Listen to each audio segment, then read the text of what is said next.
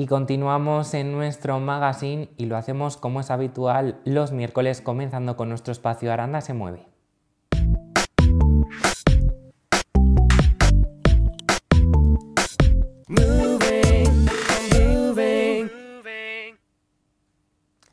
Y a poquitas semanas ya del inicio de la Navidad, pero con un calendario previo de actividades bastante contundente, hoy vamos a hablar de la programación navideña para estas Navidades 2022. Para hablarnos de ella tenemos aquí a la concejala de festejos, Teresa Bermejo. Muy buenas, Teresa. Hola, muy buenas.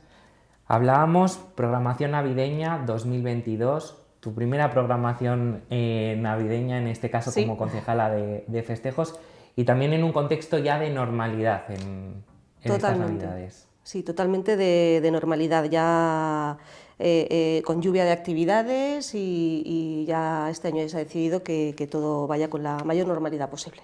Presentabais el, programa, el cartel de estas, de estas actividades navideñas el pasado jueves y es que ya las actividades ya han, ya han llegado, como quien dice, ¿no? Sí, sí, sí, sí, ya eh, ya se ha empezado ya, nada, pues desde, desde el viernes 2 llevamos ya con actividades, con alguna exposición, eh, en, alguna asociación de vecinos, eh, la pista de hielo, o sea, ya, ya vamos empezando, ya funcionamos. Vamos a seguir haciendo un breve resumen, si te parece, de las actividades, que son muchas para estas navidades, ya hasta principios de enero, hasta después del, del Día de Reyes. Y este año sí que es verdad que, que se han incluido en esta programación navideña muchas novedades, ¿no? Sí, sí, era una de las apuestas que teníamos, ¿no? de, darle una vuelta a la programación, de incluir novedades. Eh, este año una de esas novedades es un mercadillo prenavideño, o sea, digamos prenavideño porque, eh, aunque entra, entra, dentro del programa, pero no son todavía fechas navideñas, ¿no?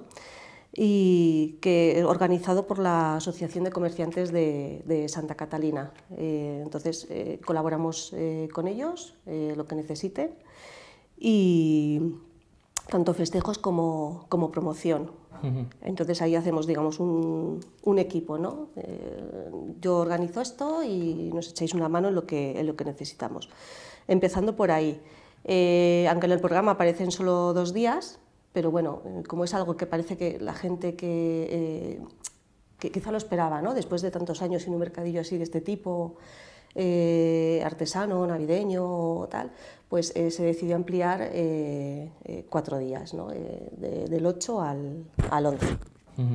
un, acercamiento a la Navidad en este puente y una actividad para, para los arandinos para ir abriendo boca de esta programación navideña. Eso es, eso es. Sí, además ahí en el centro cívico. Háblanos de más novedades que habéis incluido en la programación de este año.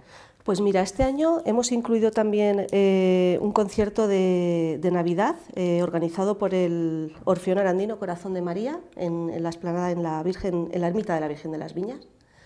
Y, bueno, eh, va a ser algo muy bonito y esperamos que, que siente un precedente ¿no? para continuar anualmente, anualmente con ello. Esa es una de esas novedades. Luego otra novedad que tenemos es eh, un concierto de, de, villancicos por parte de, la probeta, además de los que hacen ya los propios colegios de por sí, ¿no? que, tienen, así que tal, lo organiza, lo organiza, como he dicho, la probeta. Y bueno, nos comunicó la idea, nos pareció estupendo y pues venga, para adelante también. ¿no? Eh, trata de meter, de dinamizar más todavía dentro de lo que, de lo que se pueda. Y luego también por parte del ayuntamiento, otra de las novedades, eh, hemos querido homenajear ¿no? de alguna manera a Rodrigo y María, eh, participantes de, la Voz Kids. Eh, pues, oye, pues un poquito agradecer, tener un detalle con ellos ¿no? de, el, haberles, o sea, el agradecerles el, haber puesto Aranda ¿no? donde, donde la han puesto, ¿no? sacarla a nivel eh, nacional y para bien, además para bien. Entonces, qué menos, ¿no? Que queríamos contar con ellos el día de la inauguración de, la Navidad, que será el día 23 de noviembre a las 8 en el Centro de Arte Joven, en el edificio del Molino.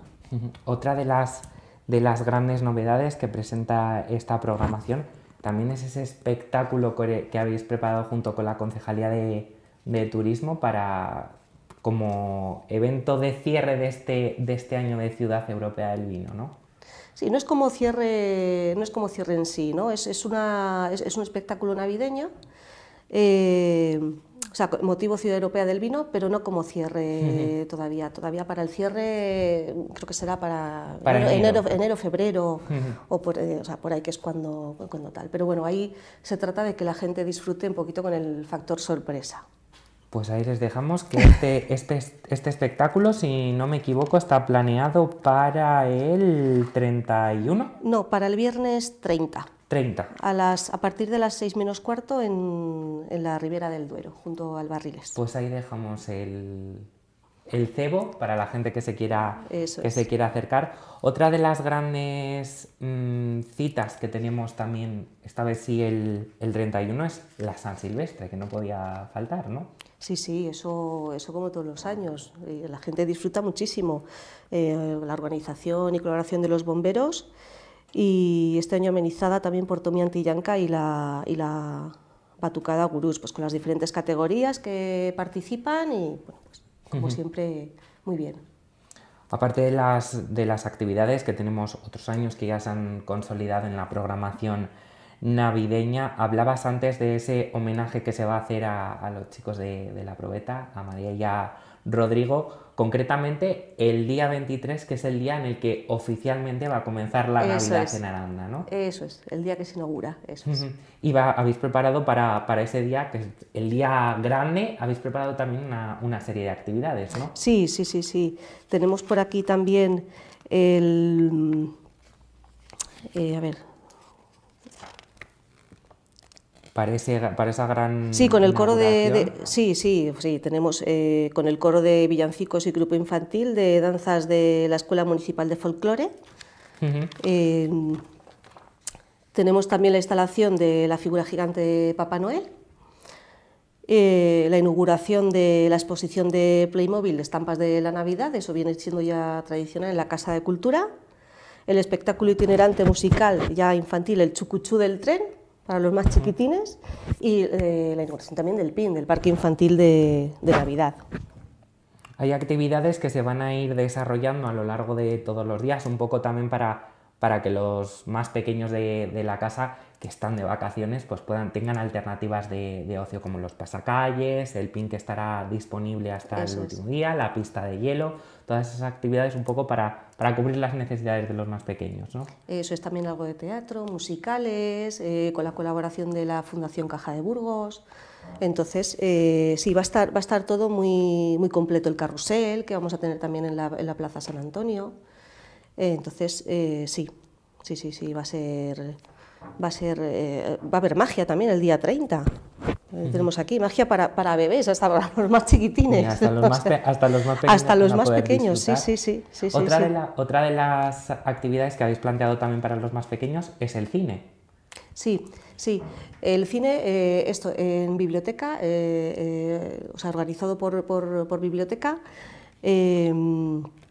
Está puesto en el, en el programa eh, unos días, creo que hay tres sesiones, ahora mismo no recuerdo muy bien exactamente los días, pero bueno, eh, cuando consultéis el programa no es a las seis y media, es a las seis, ¿vale? Para que no lleguen. De todas maneras, eh, en, en, la biblioteca ya colgarán el, el, cartel correspondiente de la película y, y, sí, pues es cine infantil, familiar, para que, que se pueda disfrutar todo también les vamos a recomendar, lo primero que se tienen que hacer es con un programa de esto, que ya está circulando también por redes sociales para que lo puedan echar un vistazo. Si te parece, nos vamos a ir a otro de los grandes actos estrella de las Navidades, ya un poco al final, que es la cabalgata de Reyes, que este año, por, consecuencias de, las obras que hay actualmente en la Avenida Castilla, cambiamos un poco el recorrido, ¿no? Sí, sí, este año cambiamos el, el recorrido.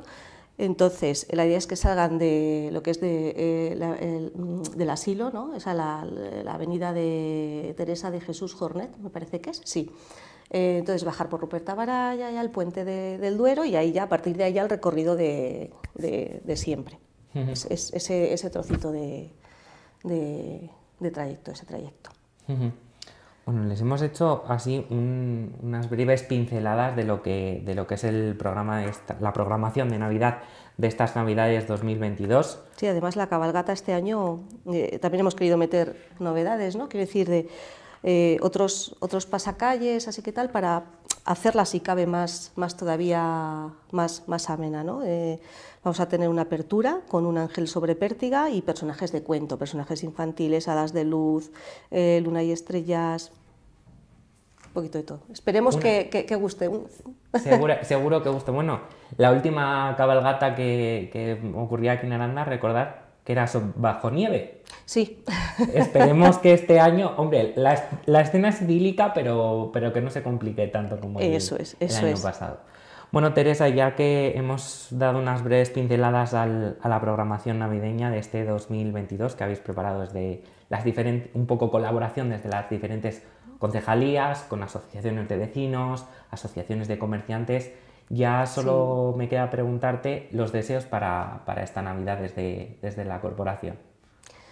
Pues eh, desde la corporación es que eh, la disfruten en familia, eh, disfruten de las actividades y, como se suele decir, em, paz, ¿no? que, que estemos todos en armonía. Y que podemos salir ya con total normalidad a disfrutar de todas estas actividades o de aquellas que, más, que más nos gusten, ¿no? Eso es. Bueno, Son muy variadas. Eso. Oferta para, todos, para todo el mundo tenemos desde los más pequeños hasta los más mayores, así que ya les recomiendo que se hagan con un programa y ya vayan marcando en el calendario aquello que, les, que más les guste. Pues Teresa, muchísimas gracias por acompañarnos esta noche y nos veremos en estos actos a lo largo de la Navidad. Eso es, a vosotros. Nosotros ahora hacemos una pequeña pausa para la publicidad, pero enseguida volvemos con más, no se vayan.